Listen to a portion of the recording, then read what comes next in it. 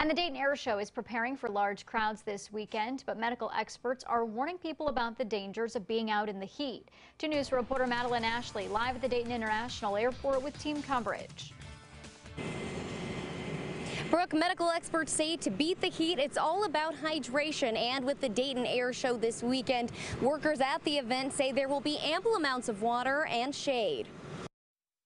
Trying to keep a lot of water uh, in your system is definitely sometimes a little challenging, especially when we have to get these things up quickly. But uh, water breaks every now and then, and staying hydrated, it's uh, it's all part of the job.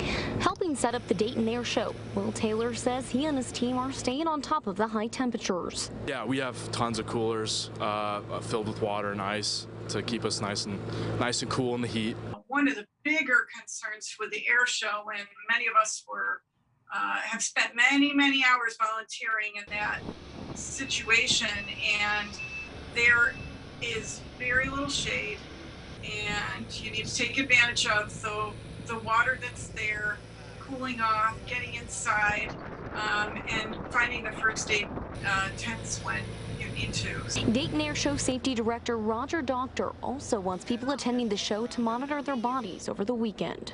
Understand you can't come out here and think you're going to be here for six hours in the heat and not drink water because you really have to have that. For Taylor, staying on top of his health and working long hours to prepare, worth it. It's all about perseverance and uh, getting it through we know the goal, and uh, we're excited to see the finished product. The Dayton Air Show will also feature medical units and medical experts say anyone that experiences headache, blur vision, or any other forms of symptoms of dehydration to take advantage of those units. Live in Vandalia, Madeline Ashley, 5 on 2.